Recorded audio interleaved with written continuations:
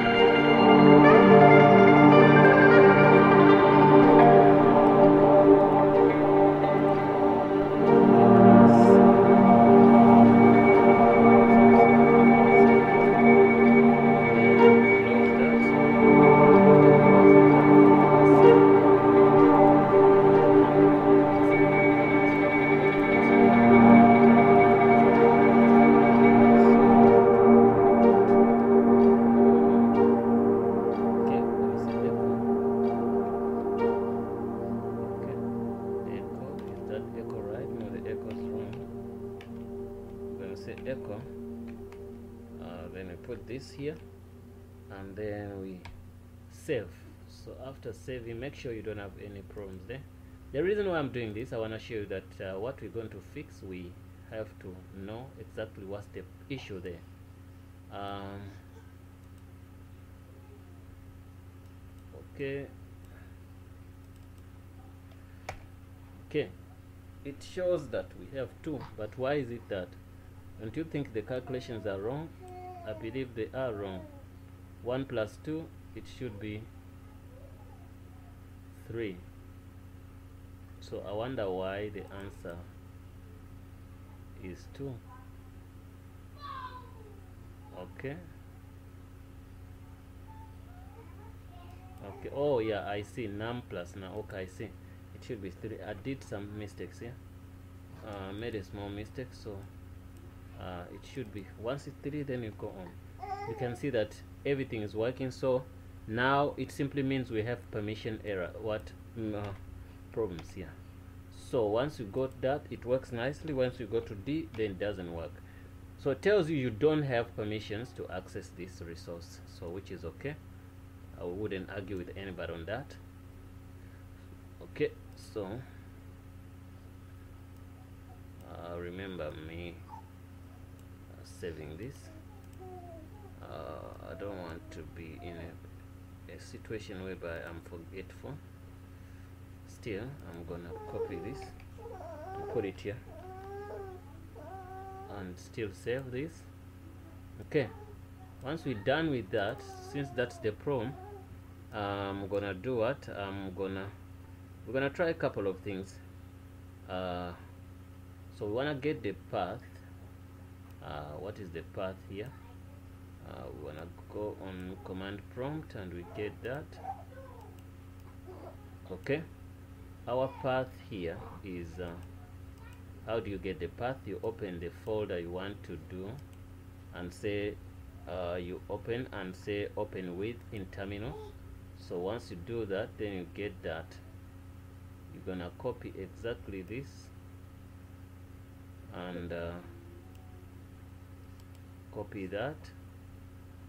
After copying that you go to your terminal and uh, start typing in chmod ch all small letters. But it got to be sudo chmod mod then minus capital ne minus capital R space uh, 777 and uh, after that triple seven you give him right uh, execute and uh, read.